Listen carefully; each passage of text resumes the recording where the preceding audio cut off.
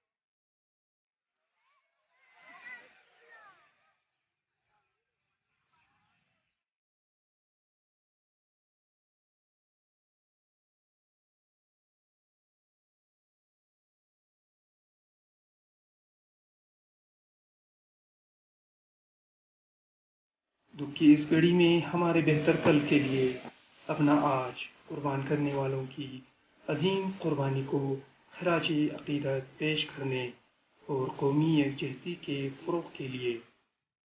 آل پاکستان تو آ martial arts championship دو ہزار پندرہ فیصلہ آباد میں منعقد ہوئی۔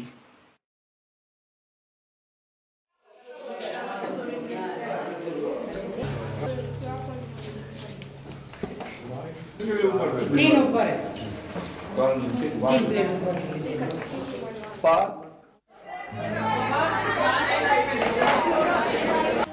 ٹورنامنٹ کا افتتاح صدر پاکستان توغا مارشل آرٹس ایسوسی ایشن ظاہر حسین سروری نے کی۔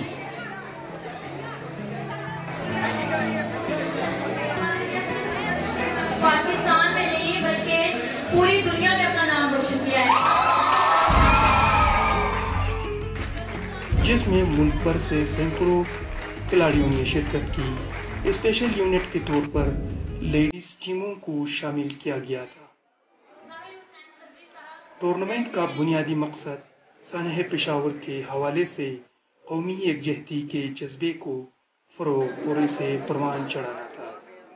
تاکہ مشکل کی اس گھڑی میں ہم نہ صرف قومی اتحاد کا مظاہرہ کر سکے، بلکہ ایک دوسرے کے دکھ درد میں بھی شریک ہو سکے۔ ٹورنامنٹ کے مہمان خصوصی صدر تاجران کمیٹی فیصل آباد، میاں شاہد گوگی تھے۔ انہوں نے اپنے خیالات کا اظہار کرتے ہوئے کہا کہ اس ٹورنامنٹ کے انعقاد سے نہ صرف ٹورنامنٹ میں شریک کھلاڑیوں کی حوصلہ حوصلہ افزائی ہوگی، بلکہ علاقے میں مثبت سرگرمیوں کو فروغ ملے گی۔ میں پاکستان توا مارشل آرٹس ایسوسیشن سے قومی یکجہتی کے جذبے کے فروغ کے لیے مارشل آرٹس چیمپئن شپ کا انعقاد، جہاں ایک قابل ستائش اقدام ہے، وہی صوبوں کے مابین صحت مندانہ سرگرمیوں اور بھائی چارے کے فروغ کے لیے بھی اہم کردار ادا کرے گا۔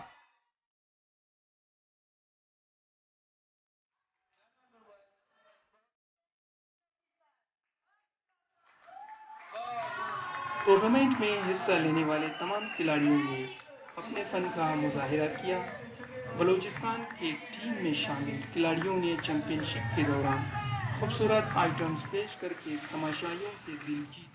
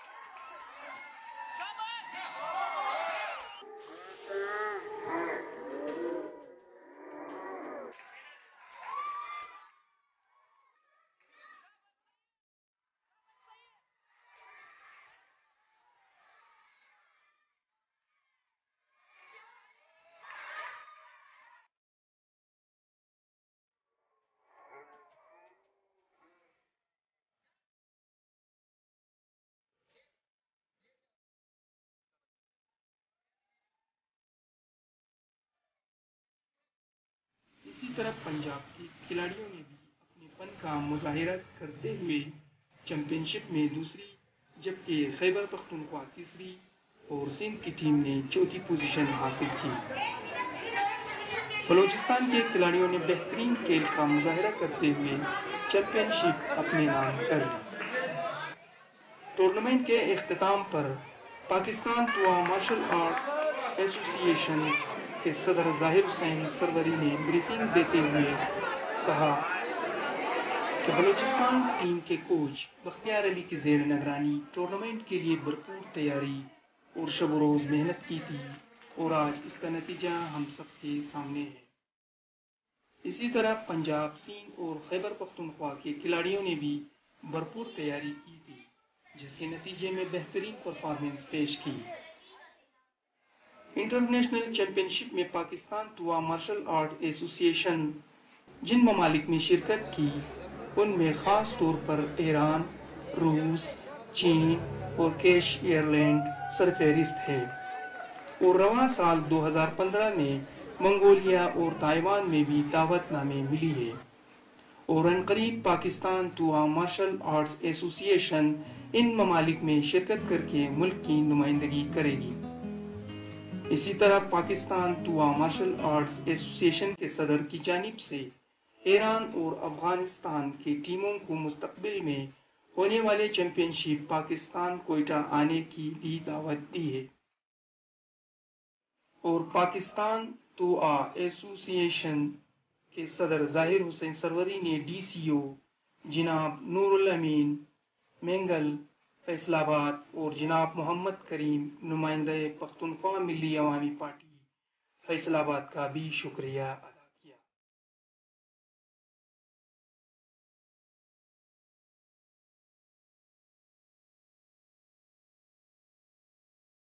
جنہوں نے ٹورنامنٹ کے انعقاد میں بھرپور تعاون کیے اور کھلاڑیوں کی حوصلہ افزائی کرتے ہوئے ان کو بہتر سہولیات کی فراہمی میں اپنا بھرپور کردار ادا کیے۔ جس کے لیے ہماری پوری ٹیم ان کے شکر گزار ہے۔